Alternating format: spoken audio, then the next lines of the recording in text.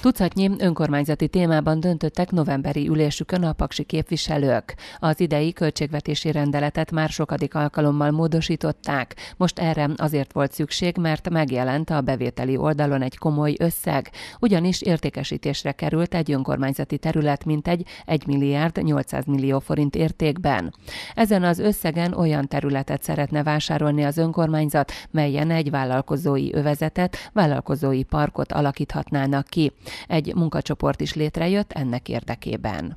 Vagyongazdálkodási ZRT-n keresztül szeretnénk majd ezt megvalósítani. Ennek érdekében került sor egyrészt a, ennek az ZRT-nek a ázsiós tőkeemelésére, ami azt jelenti, hogy a jegyzett tőkéjét 10 millió forinttal emeljük, a, a, a másik tőkéjét, a tőke tartalékát pedig 1 milliárd 490 millió forinttal fogjuk megemelni. A városatyák a fiatalok életkezdési támogatását is megemelték 119 kal így már 9 millió forint áll rendelkezésükre.